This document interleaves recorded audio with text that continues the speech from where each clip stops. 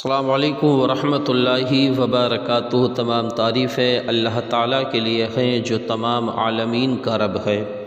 नाजरीन हजरात, मैं हूँ नसीम अख्तर मुरादाबादी आपकी खदमत में। इस मौजू के साथ की वो पाँच बातें जिनकी वजह से फ़ौर गसल फ़र्ज़ हो जाता है।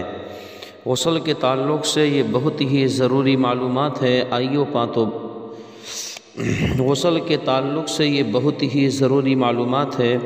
वो पाँचों बातें मैं आप तक पहुँचा रहा हूँ, दरोद पाक पढ़ें। सल्लल्लाहु अलैहि नबी लुमी वाली सल्लल्लाहु अलैहि वसल्लम सलातम वसलाम या रसूल अल्लाह सल्लल्लाहु अलैहि वसल्लम। नाजरीन कराम गसल पाँच चीज़ों से फ़र्ज़ होता है, यानी कि इन पाँच चीज़ों में से कोई एक भी सूरत पाई जाए तो गसल फ़र्ज़ है। नंबर एक मनी निकलने से मर्द ने औरत को छुआ या देखा या सिर्फ़ औरत के तसव्वुर से ही मज़े के साथ मनी अपने मकाम से निकली तो गसल फ़र्ज़ हो गया।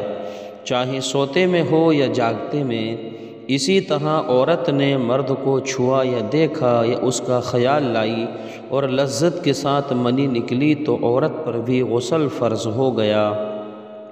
इन तमाम बातों का हासिल ये है कि अगर शह वतन और मज़े के साथ मनी अपने मकाम से निकले, चाहे औरत से हो या मर्द से तो गसल फ़र्ज़ हो जाता है।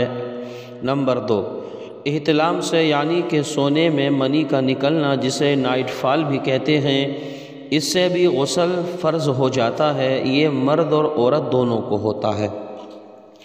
नंबर तीन, मुबाशरत करने से मर्द ने औरत से जिमा किया और अपने आले को औरत के आगे के मकाम या पीछे के मकाम में हशवे तक दाखिल किया, यानी कि नफ्स का अगला हिस्सा दाखिल किया, चाहे शहवत के साथ हो या बग़ैर शहवत। इंजाल हो न हो, यानी कि मनी निकले या न निकले, सिर्फ़ मर्द का अपने आलय तनासुल को औरत की शर्मगाह में हशवे तक दाखिल कर देने से ही मर्द और औरत दोनों पर गसल फ़र्ज़ हो जाता है। नंबर चार, हैज़ के बाद। औरत को हैज़ का खून आना जब बंद हो जाए तो उसके बाद उसे गसल करना फ़र्ज़ है।